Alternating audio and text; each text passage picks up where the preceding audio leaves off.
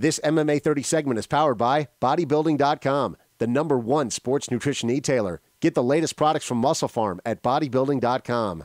We all know that it takes a lot of training for a UFC fighter to win a fight, but the fighters know that it takes great nutrition too. And that's where Mike Dolce and the Dolce Diet come in. Hey guys, what's going on? Mike Dolce, the Dolce Diet here at Xtreme Couture in Las Vegas. And we are talking Mike Pyle, getting him ready for the biggest fight of his career in my stomping grounds, Newark, New Jersey. And being the smart athlete that he is, Mike decided to bring on the Dolce Diet to get him ready because that's the one area most guys are lacking is the nutrition, especially the elite, the high level nutrition, which is really what I bring to the table. So I'm happy to be a part of the team.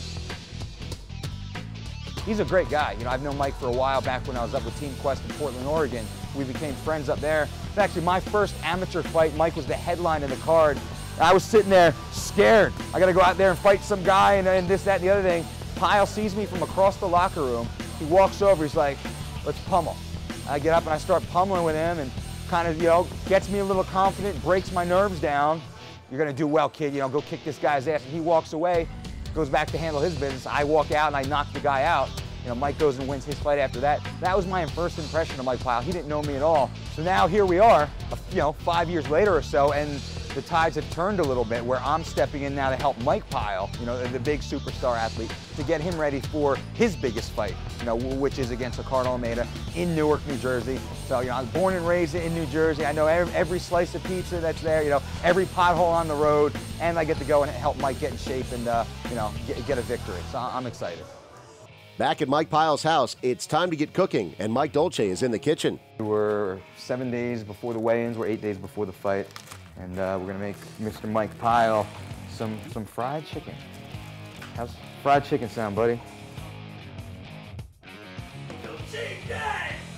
We rotate green vegetables, you know, if it's green, eat it, and you can't eat the same green every day, so kind of rotate it. Um, all the different vegetables and fruits, vegetables, and everything. It has a different nutrient profile, so you want to never really stick to just the same one. You rotate a, a few different, like with Mike, it's a lot of a lot of spinach, a lot of asparagus, a lot of broccoli, um, avocados, you know, and green also, different types of uh, romaine lettuce, you know, other lettuce variants. Put it in a little oil at a low heat. It's a light saute, so you don't really fry or cook the vegetables. You just kind of soften them up and bring out their flavor. Right now, I still want him big and strong and healthy. So why would we want to limit him or tear him down? Uh, we want to keep him strong, strong and healthy, and then at the end we'll just play with the water a little bit. It makes sense when you kind of break it down and look at it, but it's the, the application that, that kind of gets some people in trouble they don't know how to do it. Perfect. Oh, snap. That's what I'm talking about right there. Look at the smile on my face. always, brother. Good, good, good. Good deal. Don't check diet. I don't know about all that. And now, after months of preparation and careful planning, the moment of truth has arrived for both Mike Dolce and Mike Pyle, as Pyle prepares to step on the scale at the official UFC weigh-in just one day before his fight. Their target weight is 171 pounds or less.